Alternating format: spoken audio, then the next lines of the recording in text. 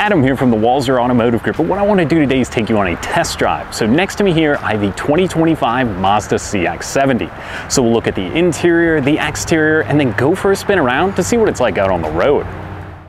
Okay, so we're behind the wheel of the 25 Mazda CX-70, and now this is the PHEV, so that means plug-in hybrid electric vehicle.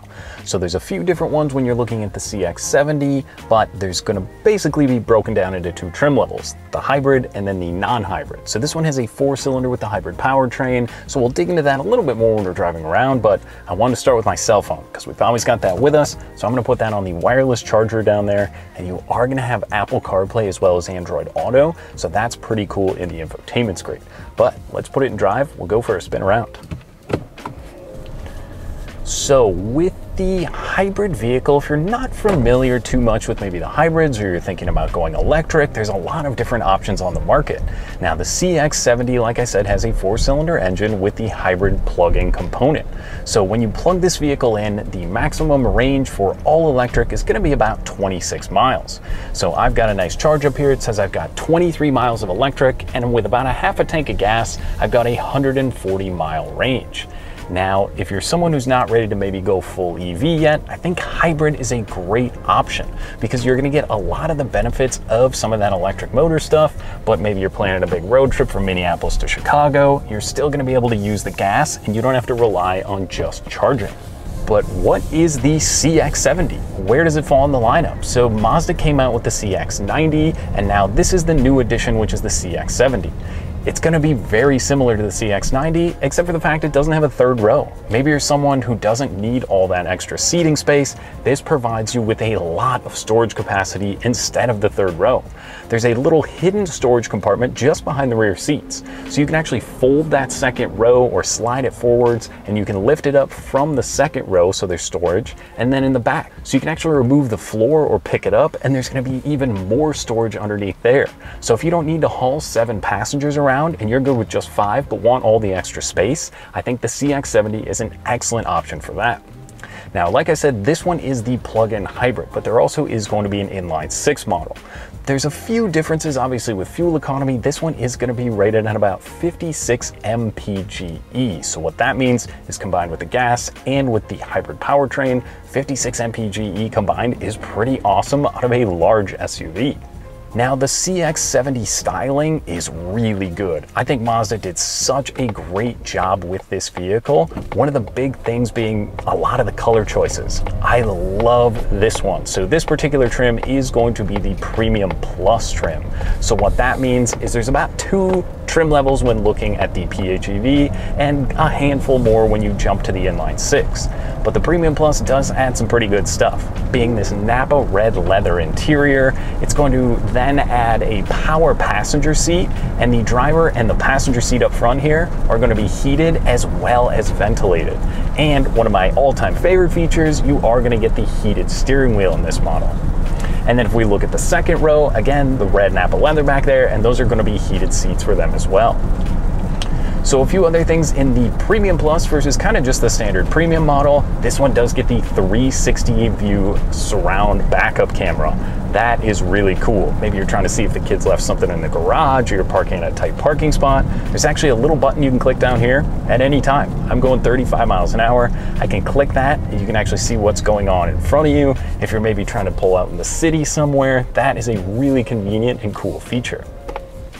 Now let's talk about the CX-70 in general. So there's a lot of good stuff. Like I said, some of the options or equipment when you're going from the CX-5 to the CX-70 or the CX-90 there's a lot of luxury in these cars. I know that maybe they compete with things like Honda or Toyota, but just from the interior, this feels more like it competes with the German SUVs to me.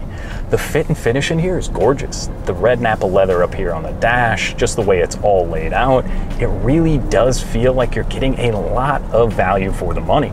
Now, yes, this Premium Plus hybrid will come in at an MSRP of just over $59,000. So there is quite a price point, but when you start getting into these full size or larger SUVs, the prices start to creep up and you expect all this luxury and comfort in here.